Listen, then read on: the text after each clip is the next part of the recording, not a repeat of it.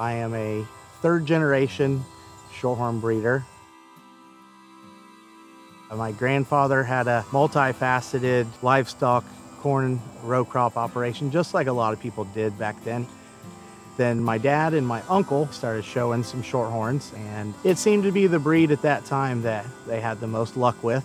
As they got out of college and got done, they came back. That's kind of when it really took off. Back then, it was more cow calf, less show cattle, whereas right now we do a lot more embryo work and IVF work and focus more on the show cattle part. I attribute our success mainly to just we've never been satisfied.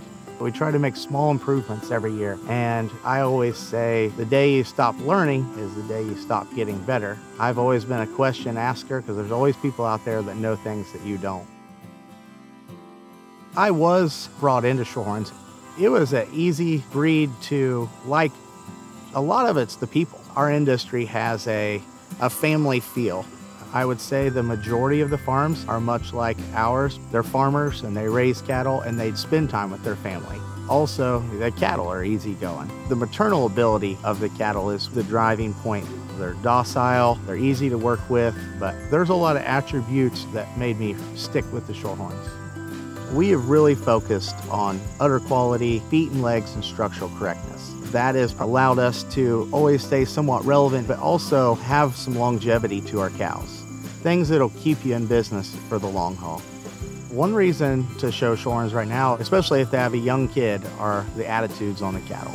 As a whole, they are gentle cattle that genuinely like attention and affection from humans. It's a breed that you can get into pretty quick and compete without having to maybe spend quite as much money or have as many years under your belt.